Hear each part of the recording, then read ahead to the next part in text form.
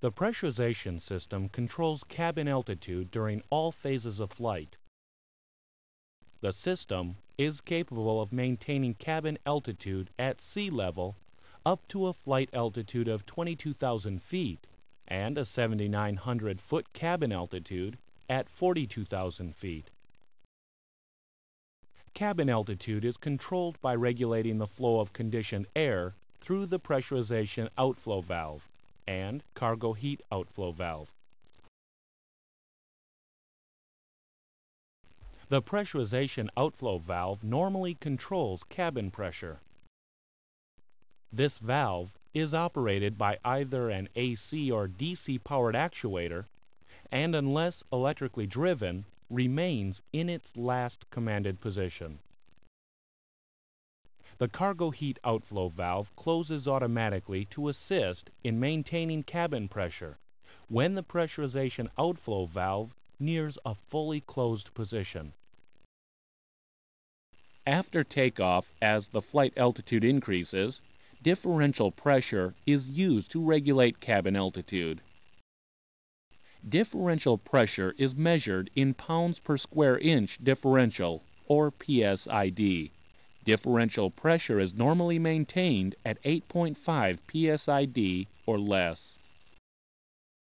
Two spring-loaded pressure relief valves prevent excessive differential pressure by automatically opening at 9.6 psid. These valves operate independently of each other and the pressurization system. A spring-loaded negative pressure relief valve allows outside air into the aircraft to prevent ambient pressure from exceeding cabin pressure. This valve opens inward at a negative 1.0 psid. Pressurization controls and indicators are located on the second officer's upper panel and lower panel. The pressurization system is controlled by an electronic cabin pressure controller. The controller has three operating modes, automatic, standby, and manual.